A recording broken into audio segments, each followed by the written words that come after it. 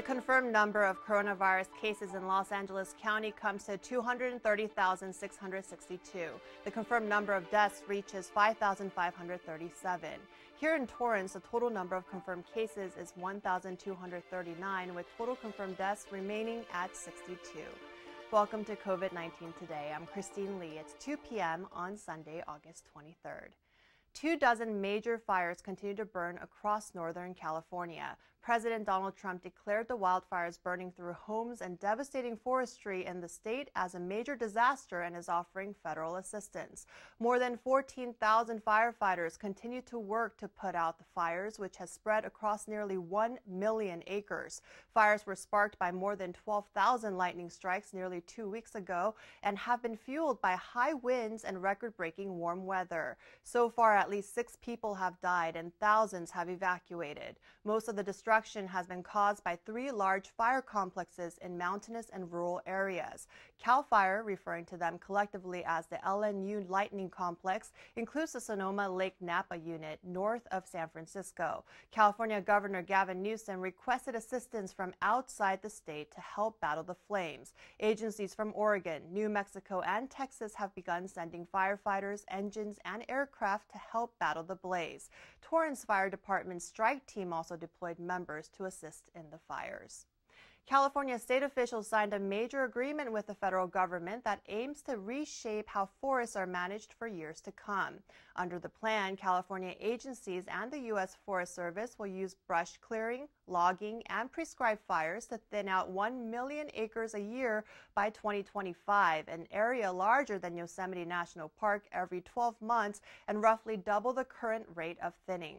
The Forest Service and the State Natural Resources Agency also committed to coming up with a 20 year plan by next year to identify which areas in the state should get priority for thinning projects with updates every five years. The goal is to treat at least 15 million acres or roughly 15% of all the land in California.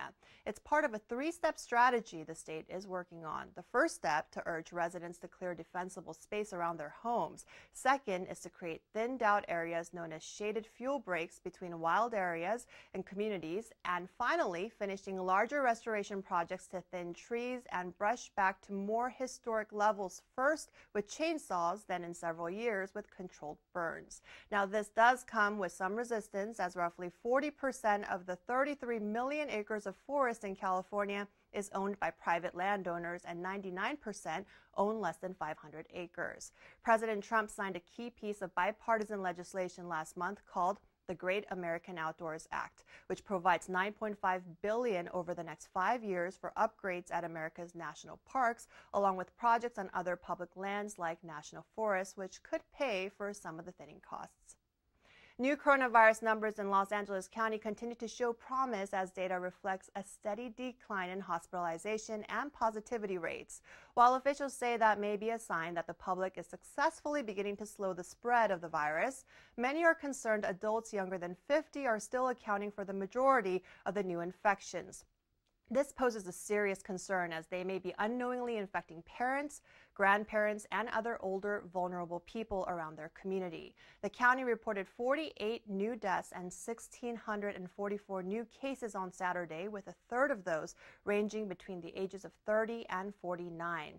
LA County Department of Public Health Director Dr. Barbara Ferrer cautions that with the warm weather continuing throughout Southern California, it's important to remain mindful of all the precautions everyone must continue to take to decrease community transmission. She she reminds the public that being around people who are not part of your household puts you at greater risk for COVID 19, which is why people should stay home as much as possible and avoid all gatherings of any size with people who are not part of your household. Coronavirus cases top 5.6 million nationwide and 22.7 million globally. The COVID 19 death toll around the world passes 800,000, with U.S. fatalities accounting for 170,000. According to Johns Hopkins University, while the number of new cases is down from a peak in July, the country is still seeing over 360,000 new cases per week. The Centers for Disease Control and Prevention is giving the public a promising timeline of when COVID 19 could potentially be under control. According to CDC Director Robert Redfield, in order to see real mo- improvement, at least 90% of Americans must wear masks, social distance, and wash hands regularly. He says if everyone follows the suggested fundamentals, the outbreak could be under control in as little as four weeks or up to 12 weeks. Redfield also strongly urged parents to get their kids vaccinated for the flu, as public health officials fear the seasonal flu could further complicate the coronavirus pandemic in the fall and burden the healthcare system.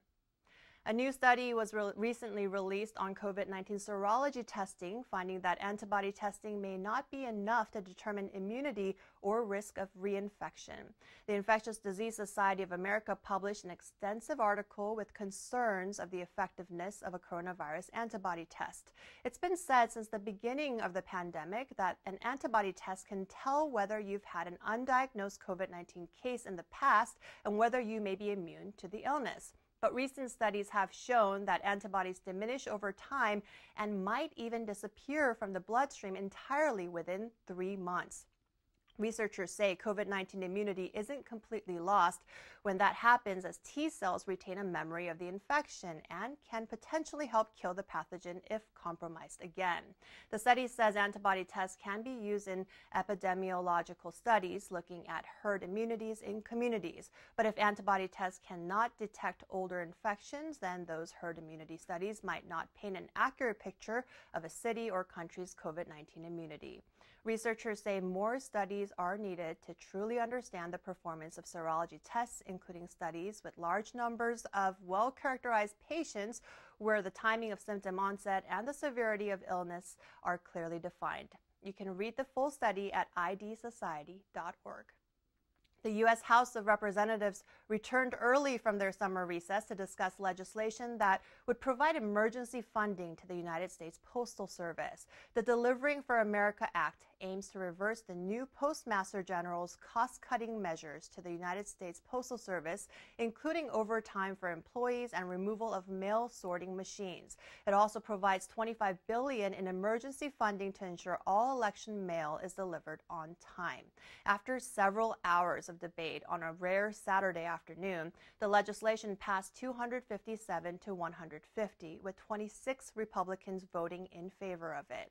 Now, the bill faces an uncertain future as it heads to the Republican led Senate. The Trump administration threatened to veto the legislation if it reached his desk. He tweeted on Saturday calling the controversy over the Postal Service a hoax and encouraged Republican lawmakers to vote against it.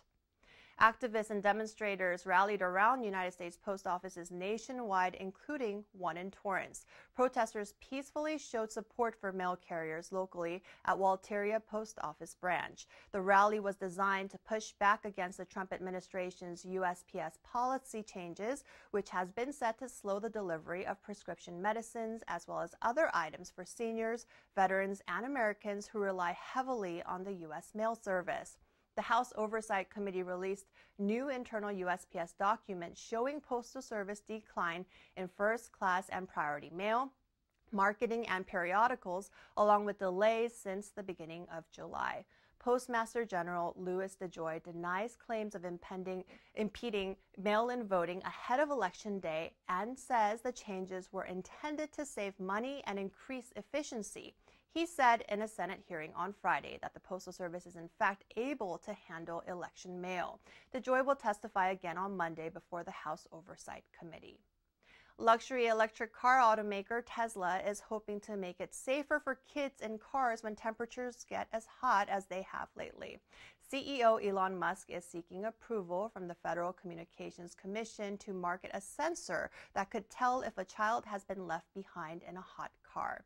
According to the National Highway Traffic Safety Administration, in 2019, 52 children died of heat stroke due to being left in a hot car. And to prevent more incidents like that from happening again, the luxury car maker wants to use millimeter wave sensors at power levels that aren't allowed under current laws. Radar based systems would provide depth perception and would be able to see through soft materials such as blankets that could be covering a child in a car seat.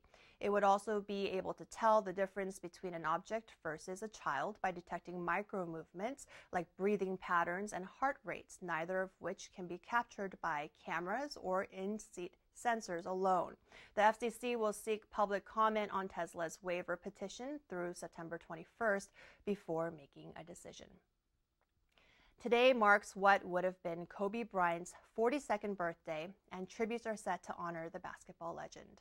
The Los Angeles Dodgers remembered Bryant and his daughter Gianna in a pre-game ceremony. They died in a helicopter crash seven months ago, along with seven other victims.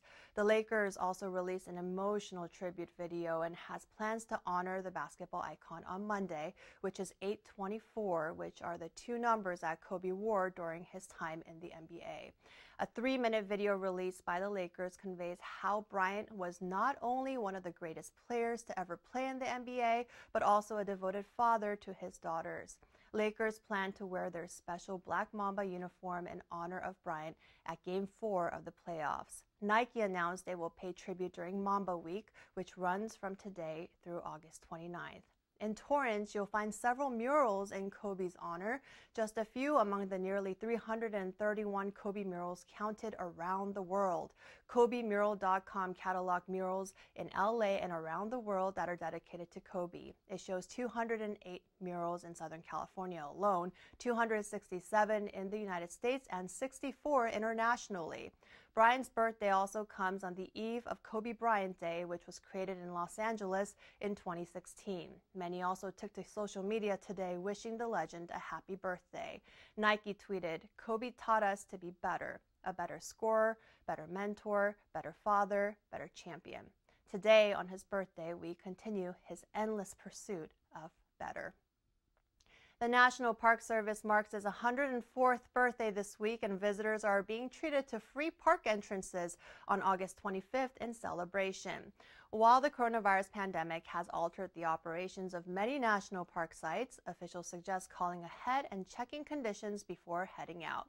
The National Park Service recommends everyone wear face coverings while visiting the more than 400 sites established since 1916 when President Woodrow Wilson signed the legislation creating the National Park Service. Last year, they welcomed more than 300 million visitors. While parks did shut down in March due to the pandemic, they began reopening them in phases before the summer. Recently, Congress approved a bill to provide nearly 2 million a year for 5 years to fix roads, bridges, trails, campgrounds, visitor centers, wastewater, and water infrastructure. Now, if you missed this free entrance day, you still have September 26th, which marks National Public Lands Day, and November 11th, Veterans Day, which are also celebrated with free entrance into the parks.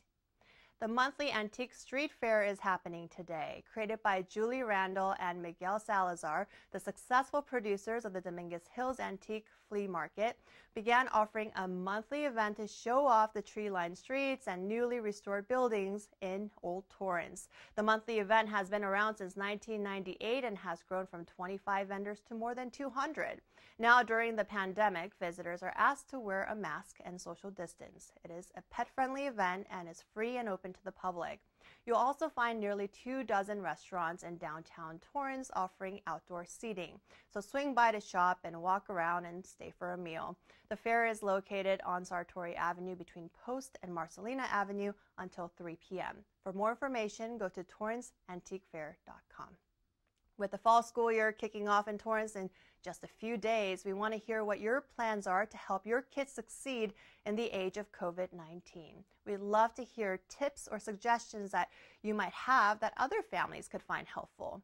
Torrance Unified School District is scheduled to begin the first day of distance learning on Wednesday, August 26th. Now, whether you have a preschooler or a teen in high school and every grade in between, we want to hear from you.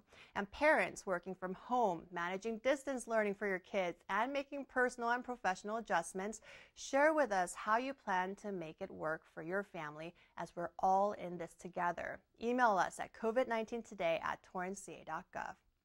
Well, before we go, at the end of each program, we like to share stories from our community. Feel good pictures, images, and videos that remind us of how resilient our community is and how Torrance cares. Well, as we look ahead to September, the Torrance Theater Company hopes the community will continue to show their support as they shift gears and transition from free to fee based performances online. Since the pandemic, the local theater group has offered a series of play at home performances to view online. It truly felt like a real live theater experience, but from the comfort of your home. Well, beginning September 6th, TTC will bring a new lineup of performances to the community with nine tentative shows scheduled. Now, what will be new this season is to participate, each household must purchase a virtual ticket to the show. It's currently priced at $20 per household. All performances will be live and held on Sundays. And the best part is you can tune in from anywhere in the world. Viewers from the last performance commented on what a fantastic job the Torrance Theater Company was doing. John Blake from Australia says, Bravo, fantastic cast, well done. And Bob Bomston wrote, Congrats to the entire Torrance Theater Company for kickstarting and providing high quality theater in a new and exciting way for patrons of the South Bay. Lovely storytelling earned four stars from where I was sitting. These are just two of the many thank you notes and emails the Torrance Theater Company received in response to the virtual performances. Now be sure to stay in touch by following them on social media. What a great organization in Torrance dedicated to keeping the community engaged and entertained during this pandemic. Now, if you have a great story to share, be sure to email us. We'd love to hear from you. That's our update for COVID 19 today. We hope you'll join us again tomorrow at 4 p.m. as Leslie Robbins brings you the latest updates. Be safe, stay healthy, and thanks for tuning in. We'll see you next time.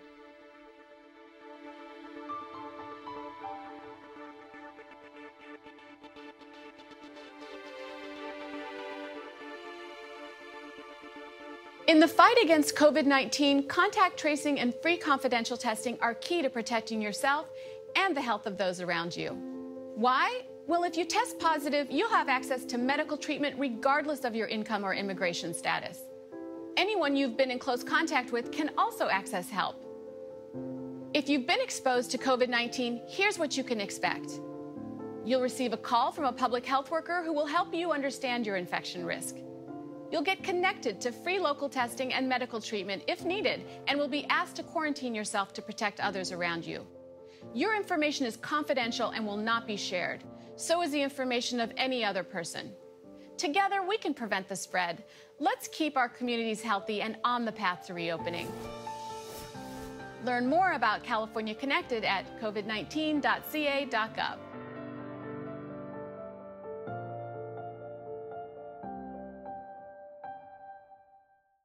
Spending time outdoors has never felt more valuable. Whether it's exploring nature or relaxing in your yard, let's do it responsibly. Before going out, check for closures and fire restrictions. Practice social distancing, even when outside and on the trail. Back at home, if burning yard debris, keep your pile small. And no matter where you are, be sure to properly extinguish any outdoor fire. Drown, stir, drown, feel. We're all in this together. Help keep our safe places safe.